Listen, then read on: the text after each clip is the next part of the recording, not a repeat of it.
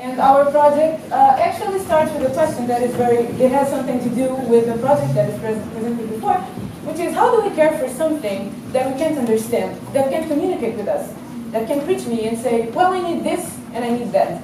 Well, often we don't. So while we get busy living, our plants get busy dying. And while most of us will think that these guys don't matter, they actually translate into a billion dollar market, so I will apologize to my ecology teacher because she was right plants do matter, uh, at least for one. And so we got to the conclusion that yes, we do have a problem. And because we are scientists, we, we don't want to have problems, we want to have solutions. And so by the end of the week, we got what is Texas.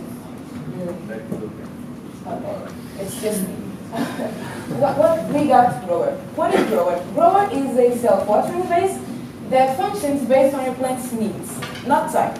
So when your plant needs more water, our, our container will actually deplete just the right amount of water in the right amount of time. And it will actually also warn you how, to how and when to change your plant soil. We weren't able to discover how to do it automatically in a week, but give us another one and we might try to do it. And Growr also does something that scientists find absolutely amazing, which is data collecting. But although we find it amazing, general users don't. And this shouldn't be about data, it should be about you. So we transformed Growr into a full experience. How?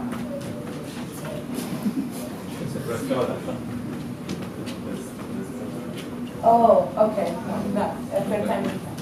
So, I think that's so much, yes. So we built a service around it. How does it work? You buy your base and install it in your home, you get happy, you watch your plants thrive. Meanwhile, the base has built-in sensors that will collect data, and the data is sent to our cloud.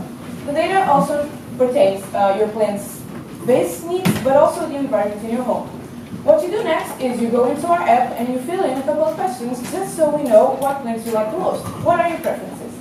What we do next is merge the data from your preference to the data with your needs and give you every month a subscription box with a specialized product, projects, products, uh, products that you can use on your plants. And also we are able to give you uh, recommendations on seeds on the plants that you want to do next, and we can actually send them to you in the month that is most appropriate for you to plant them.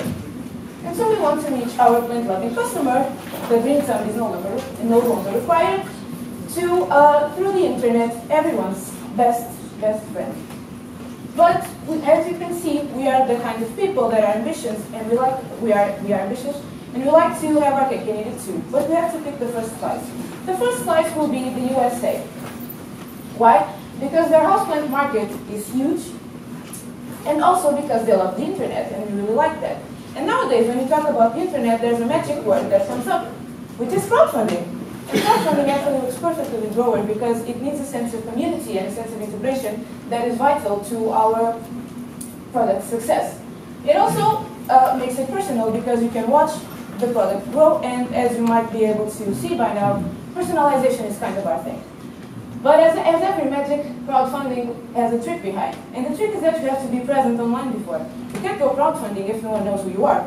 And so we have to strengthen our presence in every social media, so just fill every feed that you get on the internet with bases and points and just be overall. That's what, where we want to get.